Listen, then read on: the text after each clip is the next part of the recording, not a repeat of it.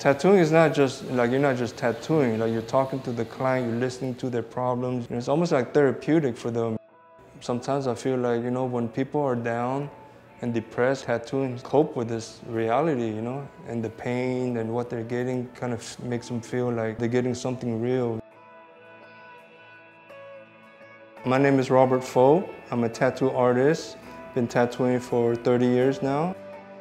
I learned in prison by tattooing on myself, made with um, you know just the basic tools in prison, using Walkman motors, um, guitar string as a needle, homemade ink. You dip the ink, just run it on your skin, dealing with the pain and see how, figuring out like how deep you needed to go. I did my left arm, my right arm, my legs, all by myself.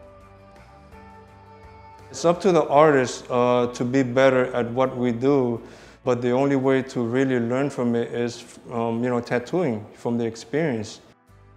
When I got out, I heard about laser tattoo removal. Laser removal is very painful and it's very expensive, but I mean, just the thought that you can have a second chance again on your skin, it was just, I mean, no question for me. I didn't care how much.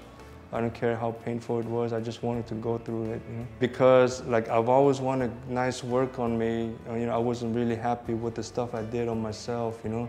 So I just started removing it, and then started collecting better tattoos from like other artists, you know. We have a shop called Skin Design Tattoo, started in North Carolina.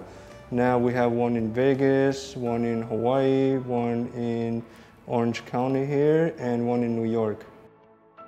I have a daughter that's 17 years old. She's apprenticing with me now.